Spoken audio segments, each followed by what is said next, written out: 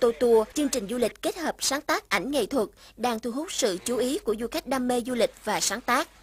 Một chuyến photo tour cũng là một hành trình khám phá. Thiên nhiên hoang sơ, địa điểm lạ, một trong những yếu tố quan trọng khơi nguồn sáng tạo. Khởi điểm là một chuyến du lịch thư giãn cuối tuần, nhưng khi đã hòa mình giữa thiên nhiên, tự tay bấm máy thì cảm nhận không chỉ đơn thuần là du lịch. Thường thường thì người ta đi du lịch thì người ta hay chụp ảnh không không có mang tính sáng tác. Mà mình đi sáng tác thì mình hòa mình vào thiên nhiên mình thấy rất thú vị. Thì um, mình cũng cất công vào đây để tham gia cái tour này thì mình thấy ngay từ đầu đi thì mình cũng chưa cảm nhận được vấn đề gì. Nhưng mà khi đi đến đây mình để sáng tác ấy, thì mình thấy rất hay.